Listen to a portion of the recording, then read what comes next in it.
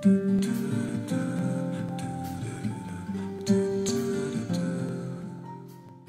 essentially what the SOS Coalition in partnership with the Link Center from WITS uh, did was um, connect uh, the industry players around this conditional access and DTT uh, issue with real ordinary people and to actually have a conversation around what are the barriers to actually enabling the digital migration to roll out and roll out efficiently and to the benefit of the, you know, the greatest number of people in the country. So we were able to bring together um, representatives from the South African Communications Forum, um, the Right to Know campaign, uh, from CTV, one of our community broadcasters in the country which operates in Cape Town, um, ETV, uh, who is one of the key players in the digital migration, um, as well as the South African Screen Federation, uh, who are the people who essentially produce the content or are part of the production of the content that we see on TV every day. This is the first time we've used the iClub. Uh,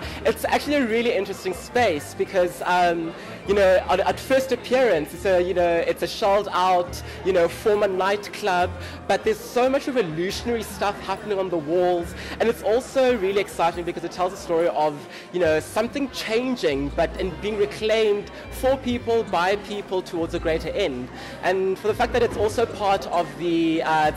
district, and really about kind of having this information communication technologies hub in Joburg in an accessible communal sort of space. That's also really exciting for us.